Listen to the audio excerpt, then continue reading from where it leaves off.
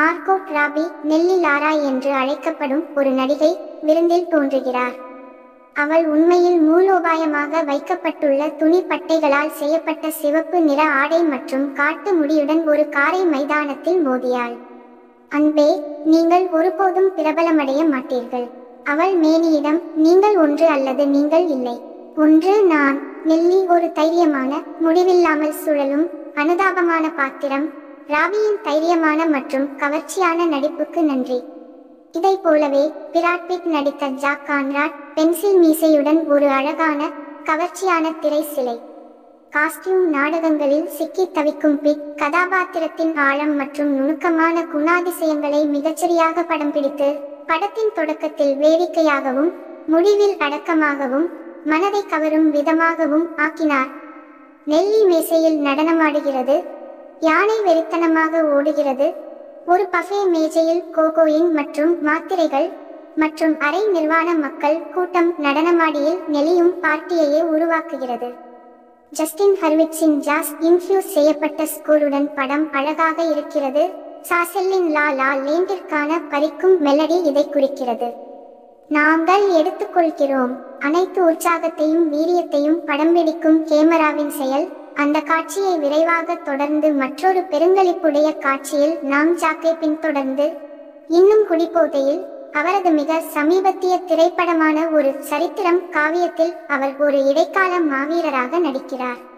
மறுநாள் காலையில் காட்சி நடைபெறுகிறது. அமைதியான திரைப்பட தொகுப்பில் வெற்று நிலப்பரப்பில் நூற்றுக்கணக்கான கூடுதல் அம்சங்கள் குதிரைகள் செயலிழந்த ஸ்டன் துப்பாக்கிகள் மற்றும் சத்தத்தின் ஒளி எலினோர் செயின்ட் ஜான் ஒரு கிசுகிசு கட்டுரையாளர் ஜேம்ஸ் மார்ட்டால் நடித்தார். அவர் தனது உதவியாளரிடம் எனக்கு புரூஸ்டை தெரியும் உங்களுக்கு தெரியும் என்று அவர் அபத்தத்தை கவனிக்கிறார். ஜாக் கிட்டத்தட்ட மிகவும் குடிபோதையில் நாள் முடிவில் நிற்க முடியாது. ஆனால் அவர் உண்மையில் செய்ய வேண்டியது ஒரு அழகான சுயவிவரத்தை வழங்குவதுதான். முதல் ஐம்பது நிமிடங்களுக்கு பிறகு மூன்று மணி நேரம் பாபிலோன் அமைதியாகிறது. ஆனால் அது இன்னும் சிலிர்ப்பாக இருக்கிறது. தியாகோ ஒரு ஸ்டுடியோவில் நிர்வாகியாக வெற்றி பெறுகிறார். அவரது பிரபலம் அதிகரித்து வந்தாலும் நெல்லிக்கு கடினமான கடந்த காலம் உள்ளது. அவளது சொந்த அப்பா ஹாலிவுட்டில் அவளுடன் சேர்ந்து நெல்லி தாழ்வாக ஆடை அணிகிறார் என்று கூறுகிறார். அவள் விடாமுயற்சியுடன் காட்டு குழந்தையாக தொடர்கிறாள். வேறு யாரும் செய்யாத போது மற்றொரு மூர்க்கத்தனமான பார்ட்டி காட்சியில் பாம்புடன் சண்டையிடுகிறாள். பிட்டின் வெளிப்பாடு ஜாக் பார்க்கும்போது தன்னை சுற்றியுள்ள பொறுப்பற்ற மக்களின் அழிவை அந்த கதாபாத்திரம் எவ்வளவு தெளிவாக பார்க்க முடியும் என்பதை பார்க்க முடிகிறது. சாசெல்லே அவரைப் போலவே யதார்த்தமாக இருந்திருந்தாள்.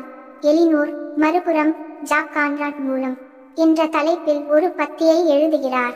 மேலும் திரைப்படங்கள் அவரை எப்படி எப்போதும் உயிருடன் வைத்திருக்கும் என்பதை ஒரு நேர்த்தியான உரையில் விளக்குகிறார். ஸ்மார்ட் மோனோலாக்கை சொற்பொழிவுடன் வழங்கினாலும் அதில் இன்னும் பொருள் இல்லை. கான்ராட் பிராட்பிட் போல தோற்றமளித்தாலும் பல அமைதியான திரைப்பட நட்சத்திரங்கள் டாக்கிகளுக்கு மாறவில்லை என்ற போதிலும் அவர் விருப்பங்கள் இல்லாத மனிதர் அல்ல. மேலும் என்னவென்றால் ஒரு டாக்கியில் நீல இரத்தமாக வெளிப்படுத்த முயற்சிக்கும் நெல்லியின் சதி டவுன் மழையில் சிங்கின் நேராக இருந்தது. பாபிலோனின் எஞ்சிய பகுதி முழுவதும் அந்த திரைப்படத்திற்கான தொனி செவிதான குறிப்பு அருவருப்பாக திரும்புகிறது. ஆயிரத்து தொள்ளாயிரத்து முப்பதுகளில் ஹாலிவுட்டில் ஸ்டுடியோ பவர் மற்றும் கட்டுப்பாட்டின் கொடூரமான மிருகத்தனத்தை சாசில் சித்தரிக்கிறார்.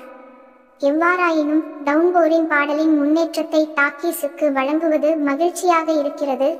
மேலும் எங்களில் ஒரு சிலருக்கு பாபிலோன் காட்டுமிராண்டித்தனத்திற்கு முரணான ஒன்றை சமீபத்தில் வெளிப்படுத்தியுள்ளது. ஒரு முக்கிய பாத்திரம் சிங்கிங் இன் தி ரெயினில் கண்ணீருடன் படத்தின் பல முடிவுகளில் ஒன்றை.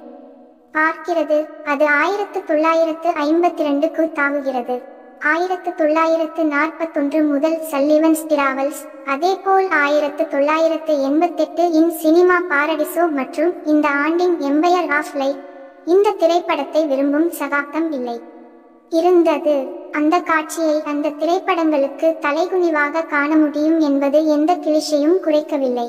கூடுதலாக ஒரு துணிச்சலான ஆனால் தேவையற்ற முடிவு என்பது வரலாற்றில் இருந்து மற்ற படங்களின் தொகுப்பாகும். சாசெல்லின் திரைப்படம் ஒரு சிறந்த சினிமா தலைசிறந்த படைப்பாகும். இது ஹாலிவுட் என்று நாம் இன்னும் அங்கீகரிக்கும் அழகான மற்றும் பயங்கரமான உலகத்திற்கு நம்மை அழைத்துச் செல்கிறது. திரைப்படங்கள் மாயாஜாலம் என்பதற்கு இதுவே சாட்சி. சாசெல்லுக்கு மகத்தான இலக்குகள் உள்ளன. இசை நடனம் போதைப்பொருள் செக்ஸ் காதல் மற்றும் துரோகம் ஆகியவை பாபிலோனில் உள்ள சில குறிப்பிடத்தக்க தொகுப்பு தூண்டுகளாகும். இதில் நன்கு வரையப்பட்ட பாத்திரங்களும் உள்ளன. ஒரு மாதிரியாக சிங்கிங் இன் தி ரெயினில் தவறாக நம்பியிருப்பது மற்றும் பல முடிவுகளை கொண்டிருப்பது போன்ற படத்தின் கடுமையான குறைபாடுகள் அதன் பலத்தால் உருவாக்கப்பட்டவை அல்ல. ஆனால் பாபிலோன் உங்களை கூக்குரலிட செய்யும் நேரங்கள் இருந்தாலும் இன்னும் பல சமயங்களில் அது மெய்சிலிருக்க வைக்கிறது. நீண்ட களிப்பூட்டும் நீட்சிகள்